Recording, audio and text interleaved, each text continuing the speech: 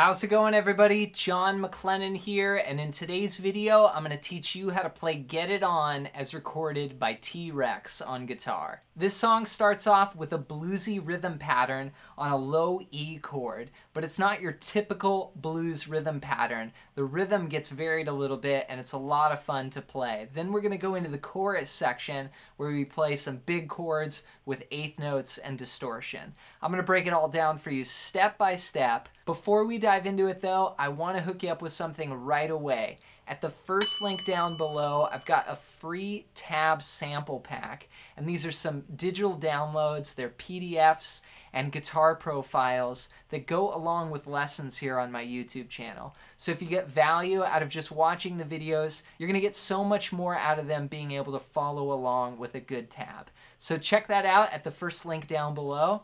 And with that said, let's break this song down. Let's break down how to play Get It On as recorded by T. Rex on guitar. We're going to start off on an 8-bar vamp on an E chord for our intro. And we're going to use a bluesy rhythm pattern, but we're going to make a little twist to the rhythm as opposed to your typical kind of blues shuffle. Here's what it sounds like. One, two, three, four.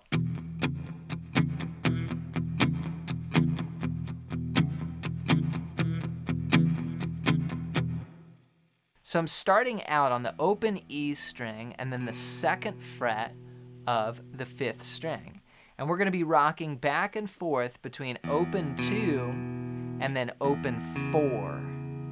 So the first measure is going to go 1 and 2 and 3 and 4 and. So I'm using all downs with my strum hand and just going 1 and 2 and 3 and 4 and. I'm also applying some palm muting. So my palm is back here where the string and the bridge come together. I'm just getting more of that muted sound. So one and two and three and four and. Now there is a little bit of an accent. See, in a typical blues pattern, we'd do something like one and two and three and four and. Here we're going to put down that third finger on the fourth fret there on beat two. So one and two and three. Then we'll put it down on the and of three as well. So one and two and three and four and. Okay, and I'm hitting those notes with a little bit more of an accent when I place down that third finger.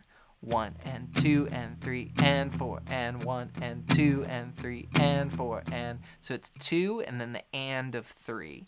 And that's going to be our groove for the verse and whenever we're playing this kind of pattern throughout the song. So one and two and three and four and one and two and three and four and.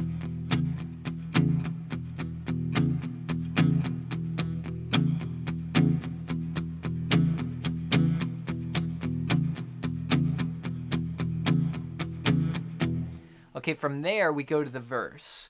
And for the verse, we're going to play a six bar chord progression. Here's what it sounds like. One, two, three, four.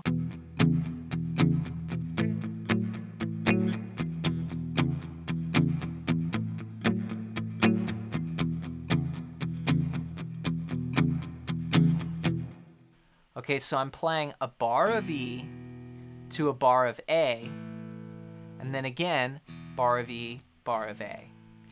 Now I'll be applying that same rhythm pattern, right? One and two and three and four and, okay?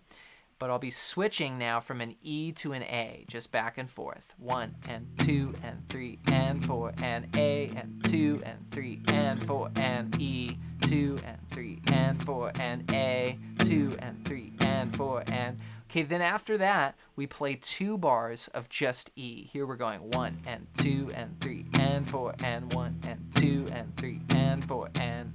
So altogether, the verse is going to be played two times. So it's going to be a 12 bar chord progression. Here's what that sounds like. One and two and three and four and.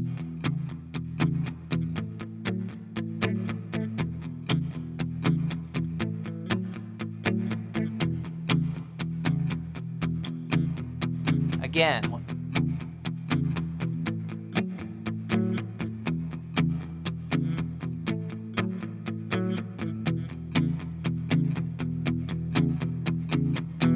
All right, then we go to the chorus, and that's where the lyrics go. Get it on. Here's what it sounds like one, two, three, four.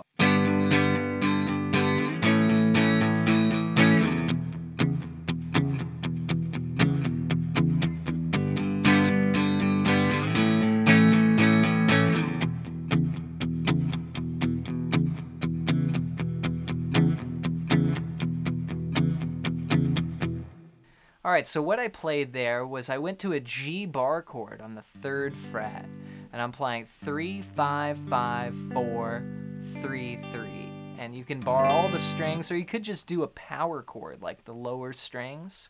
Could be three, five, five, or even just three, five will sound good. We're gonna do one bar of G, then we're gonna move that up two frets. We'll go to the A chord. Now here we're gonna play an eighth note rhythm with this. So we'll go one and two and three and four and one and two and three and four and I'm doing all downs. And if you want, you know, you could you could kick on some distortion, like like hit a pedal and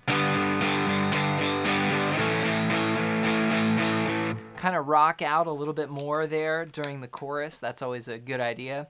So here we're gonna play one and two and three and four and to A. Then we go back one and two and three and four and one and two and three and four and we're gonna go back to that blues rhythm pattern for two bars, okay? Then we go back and we play G to A again.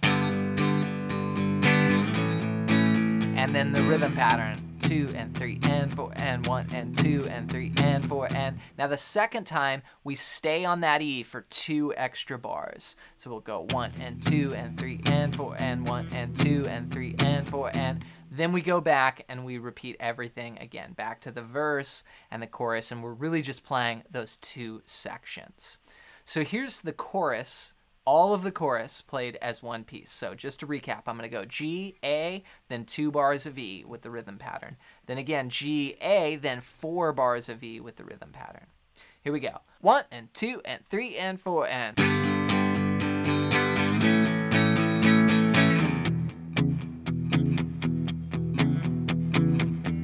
Back to G,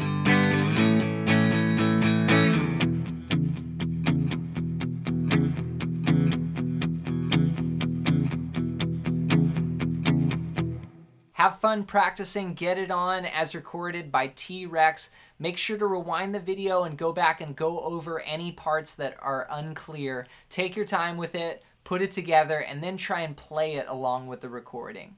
Before you go, don't forget to download my free tab sample pack at the first link down below.